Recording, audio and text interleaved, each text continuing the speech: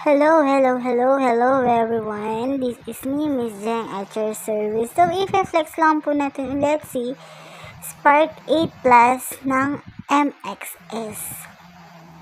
Madami po yung nagtatanong pa rin at nag, uh, nagda-doubt na siya po ay fake or clone at not legit dahil 8 gigram po siya and 128 gig ROM.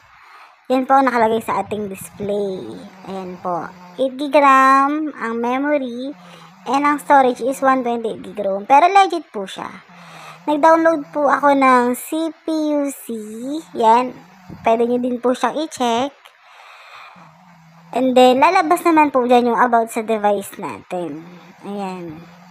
Makikita niyo po dyan lahat ng information, online validation through CPUZ. And then there, makikita niyo po yung total RAM po niya and total storage po ng ating tablet. So, si Spark 8 Plus is legit po na 8 GB RAM, 128 GB ROM. O, hindi po ba?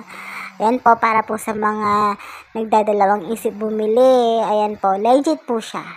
8 GB RAM, 128 GB ROM.